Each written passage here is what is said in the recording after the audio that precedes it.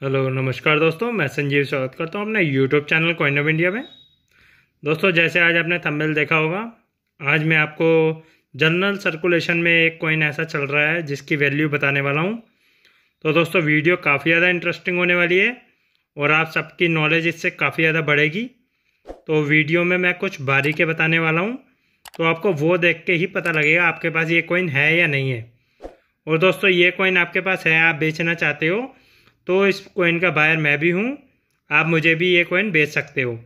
ठीक है दोस्तों, आपके पास ये कोइन है तो आप मुझे कमेंट करिए। कमेंट में आप मेरे से नंबर ले सकते हैं, मैं नंबर आपको दे दूँगा। तो मैं आपसे डायरेक्ट कॉल करके बात करूँगा। ठीक है दोस्तों? और एक ऑप्शन और है, आपको मेरा नंबर किसी कारण नहीं मिलता तो आप फेसबुक में ये डिस्क्रिप्शन में लिंक आपको दिख रहा होगा। फेसबुक ग्रुप है ग्रुप में आप पोस्ट कर देना, मैं वहाँ से आपसे कांटेक्ट कर लूँगा। ठीक है दोस्तों? अब इस वीडियो को शुरू करता हूँ। तो आप देखिए कि काफ़ी लोगों के पास ऐसे पंद्रह धारी वाले सिक्के बोलते हैं ना, पंद्रह लाइन वाले सिक्के हैं, पंद्रह लाइन वाले। तो इसी में एक खास कॉइन आता है, वो देखिए आपके पास है या नहीं है। क्योंकि दोस्तों, वो काफ़ी ज़्यादा रेयर है और काफ़ी ज़्यादा महँगा कॉइन है, दस रुपये के हिसाब से। तो देखिए दोस्तों, वीडियो स्टार्ट करते हैं। देखिए दोस्तों, वो कॉइन बैक में बिल्कुल सेम ऐसी है। उसकी बैग बिल्कुल सेम ऐसी होगी, पंद्रह धारी वाली। बीच में टेन रुपीज़ है और ये गोलाई में टेन रुपीज़ लिखा हुआ है। ठीक है दोस्तों? अब जो ओवर साइड में आपको दिखाने वाला हूँ, उस कॉइन में आपको क्या देखना है? ये देखिए दोस्तों, ये इसका ओवर साइड है मतलब फ्रंट साइड ठीक है? फ्रंट साइड में ये मैंने आपको दिखाया 2010 का। कैलकाटा मिंट का है ये। मगर आपको क्या देखना है 2009 का कॉइन होगा।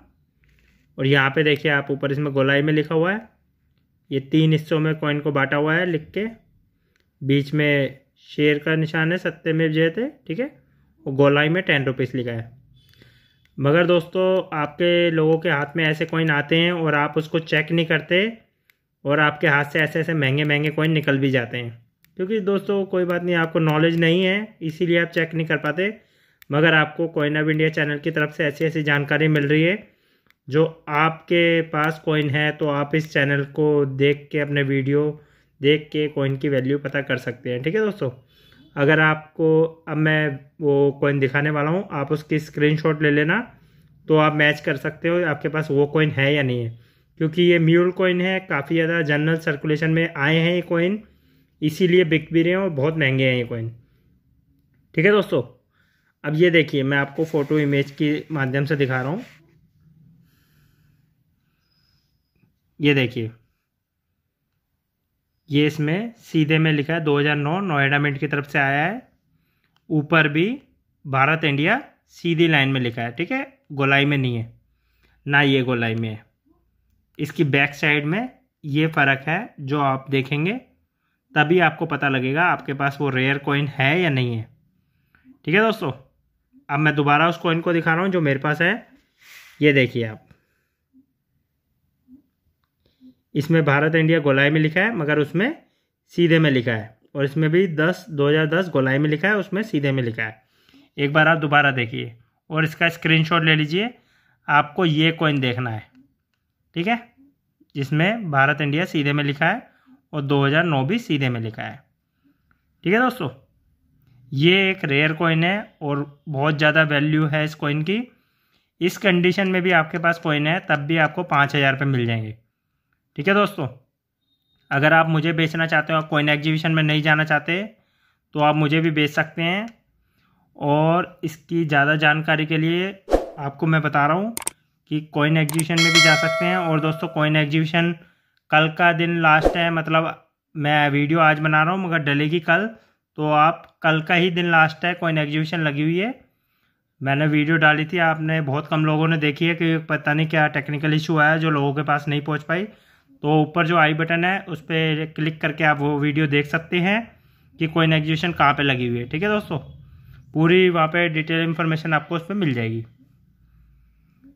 और अब आते हैं दोस्तों इसकी वैल्यू पे। ठीक है? वैल्यू मैंने आपको बताई है, इस कंडीशन में भी इसके पाँच हज़ार मिल जाएँगे और आपके पास यूएनसी कंडीशन में है तो बारह से पंद्रह हज़ार रुपये मिल जाएँगे उसके। यूएनसी कंडीशन एकदम ब्रांड न्यू सिक्का होता है, एकदम न्यू कैटेगरी का। ठीक है दोस्तों? ये घिसे हुए कॉइन है तो इनके पाँच हज़ार रुपये आपको मिल जाएँगे। और आपको कहीं जाने की ज़रूरत नहीं है, आप मुझे टैक्स कर देना, मेरे व्हाट्सअप नंबर भी है उसमें डिस्क्रिप्शन में। आपके पास ऐसा कॉइन है तो मैं आपसे ख़रीद लूँगा। ये ध्यान रखना दोस्तों, ये कॉइन नहीं लूँगा मैं, ये नॉर्मल कैटेगरी का है रेयर कैटेगरी का यही कॉइन है जो मैंने आपको बताया है। देखिए 2009 नोएडा मिंट की तरफ़ से मिंट मार्क लगी हुई है, और भारत इंडिया सीधे में लिखा हुआ है, ठीक है? यही एक पहचान है। अभी बोल रहा हूँ, दोबारा आपको रिमाइंडर कर रहा हूँ, आप स्क्रीनशॉट ले लीजिए। ये कॉइन आपके पास है तो मैं आपसे ये ज़रूर ख़रीद लूँगा। ठीक है दोस्तों, ये रेयर कैटेगरी का कॉइन है नॉर्मल कैटेगरी का बिल्कुल नहीं है।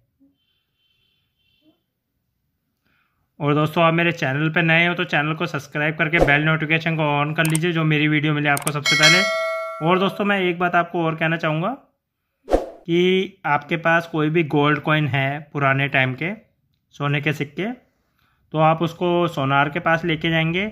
वो आपको सिर्फ़ और सिर्फ़ सोने के पैसे देगा। ठीक है दोस्तों, आप मुझे बेचना चाहते हो, मैं इसके सोने के तो पैसे दूँगा ही।